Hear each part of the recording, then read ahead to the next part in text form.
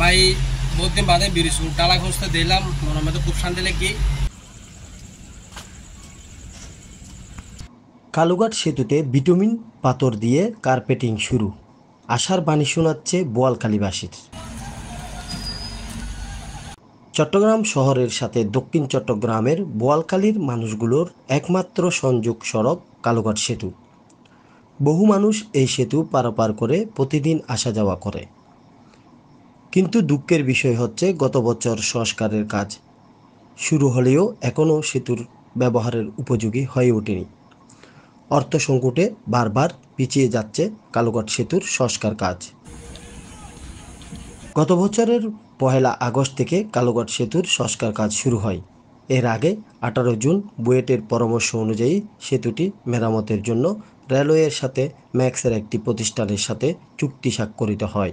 প্রথম দফায় গত বছরের একত্রিশে অক্টোবরের মধ্যে সেতু সংস্কারের কাজ শেষ হওয়ার কথা ছিল। কিন্তু নির্দিষ্ট সময়ে সংস্কার কাজ শেষ করতে পারেনি সংশ্লিষ্ট ঠিকাদার প্রতিষ্ঠান। এ পর্যন্ত বেশ কয়েক দফায় সেতুটির সংস্কার কাজ শেষের মেয়াদ বাড়ানো হয়।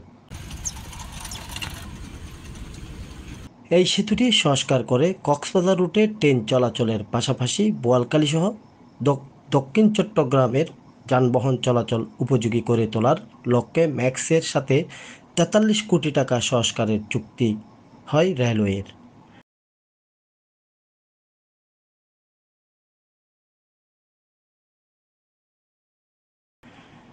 বুয়েটের বিশেষজ্ঞ টিমের তত্ত্বাবধানে সেতুটির সংস্কার কাজ করছে ম্যাক্স। বিষয়টি নিশ্চিত করে রেলওয়ের পূর্বাঞ্চলের সেতু প্রকৌশলী জিসান দত্ত জানান, সেতুতে প্রথমবারের মতো যুক্ত হওয়া ওয়াকওয়ের কাজ শেষ পর্যায়ে। কোরবানির ঈদের সেতু ওয়াকওয়ে দিয়ে উভয় পারে মানুষ চলাচল করতে পারবে।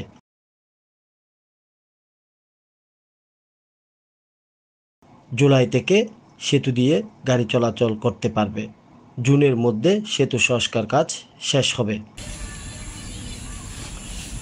রেলওয়ে সংশ্লিষ্ট প্রকৌশলী জানান, আগামী ঈদুল আজহা, অর্থাৎ কোরবানি ঈদের আগে সেতুর উভয় পাশে প্রথমবারের মতো নির্মিত ওয়াকওয়ে দিয়ে মানুষ নির্বিঘ্নে চলাচল করতে পারবে।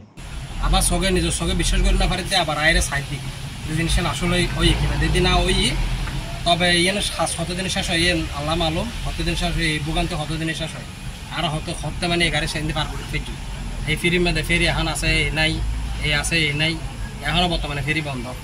এখন হাজা হামা জরুরি জমফলে যাই না পারে মানুষ একটা মোটর সাইকেলের ভিডিও যদি হস্ট করে লই যাবি বাজ গিয়ে ক্যাং করিব? এখন তিনশো মাইল ঘুরি জম করিব আবার।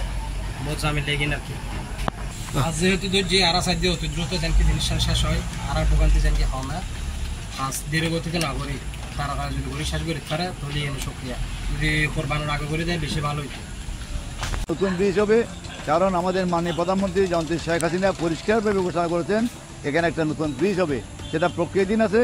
এই ব্রিজ নিয়ে কথা বলতে চায় না, কারণ এলাকার মানুষ কথা শুনতে চায় না। এলাকার মানুষ এই ব্রিজের বাস্তবায়ন চায়। ওই জন্য আমি শুধু ব্রিজ নিয়ে কথা বলব না। ইনশাল্লাহ আমাদের প্রাণপ্রিয়ার্থী যন্ত্রী শেখ হাসিনা যখন মাননীয় প্রধানমন্ত্রী হয়েছেন, জনগণের ভোটে ইনশাল্লাহ এই ব্রিজ হয়ে যাবে। শুধু এতটুকু বললাম।